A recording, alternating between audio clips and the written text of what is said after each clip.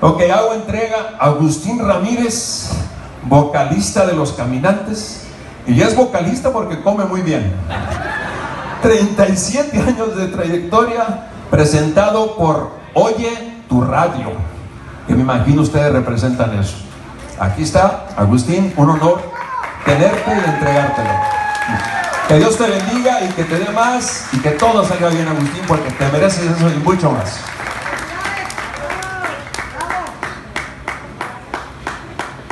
Caray, vamos, muchas gracias. Me siento muy contento.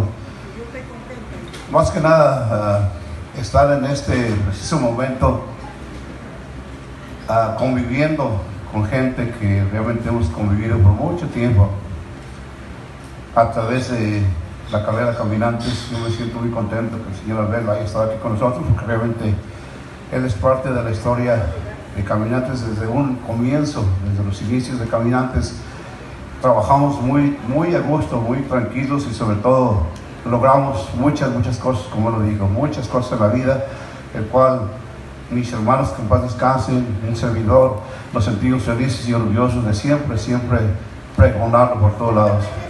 Creo que una de las cosas para mí en, en este momento, esta satisfacción grande y este reconocimiento que me están dando, yo quisiera compartirlo más bien que nada. Creo que la persona que más se merece esto es mi esposa, que a través de, de estos 37 años es la que ha aguantado la soledad en la casa, el cuidado de mis hijos que ahora ya son grandes y está conmigo, que afortunadamente Dios me ha dado, la oportunidad de que ellos convivan conmigo ahora. Y creo que ella es uno de los fundamentos principales del éxito de Caminantes y del éxito que, que Agustín Ramírez siga adelante.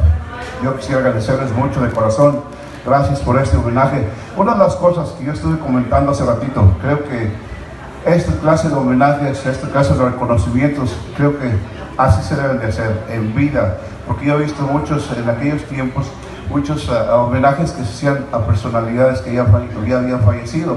Creo que eso no, no, creo que no, es, no es lógico porque esa persona ya no lo está disfrutando. Sin embargo, en este momento yo me siento feliz, contento y sobre todo satisfecho de todo lo que he hecho porque estoy recibiendo todo el cariño de todos ustedes. Muchísimas gracias, que Dios los bendiga a todos siempre, siempre.